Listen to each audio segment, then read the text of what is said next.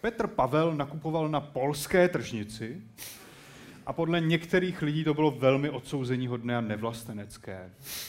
A my jsme obhajovat teda? Tak vy budete, uh, začíná žaloba, takže vy budete žaloba, vy budete No, říkat, proč easy. rozhodně Yes. nemá Pšonci, ty vole. nakupovat v Polsku. A vy budete pak následovat s obhajobou a řeknete nám, proč by už neměl nakupovat nikde jinde, nebo, nebo tak nějak. Každopádně žaloba je připravená, Cože? Uh, I guess. Už? tak máte, Jo, proč ne, pojďme. máte 40 vteřin. A začínáme teď. Eh. A respektive teď, až se spustí ten odpočet. Ty vypadá, že máš plán. Mluv a já ti doplním. Pro Česko není větší hrozba než je pšonek. Je to prostě uh, odporný soused, který je katofaš, katoli, fašisticko, Kledofašismus. Uh, vlastně tím teď, že tam Petr Pavel byl, tak dal nějaký, co oni mají, zloty?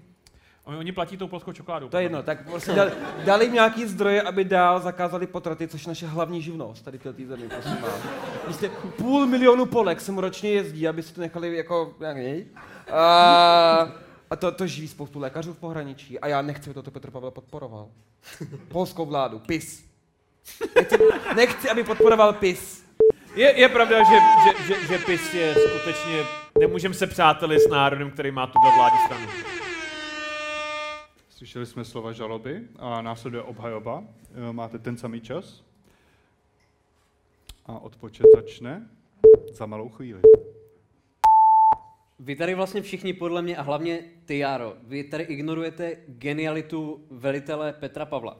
Podle mě to je všechno promyšlená zastírací operace.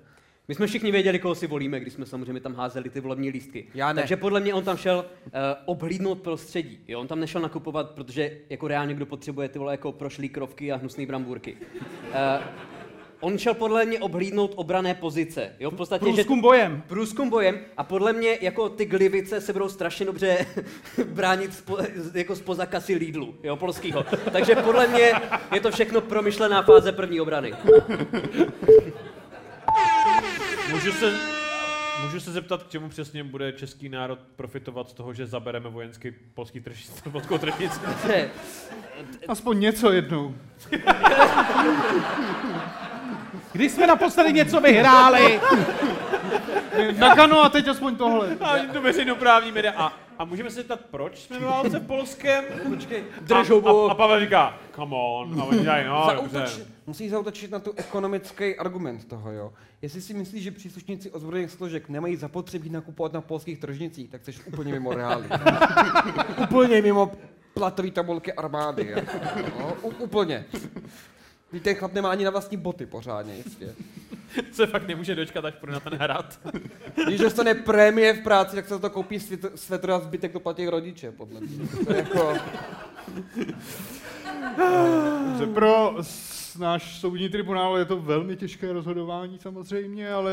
Já nevím, protože jejich argument je proč? Protože proto.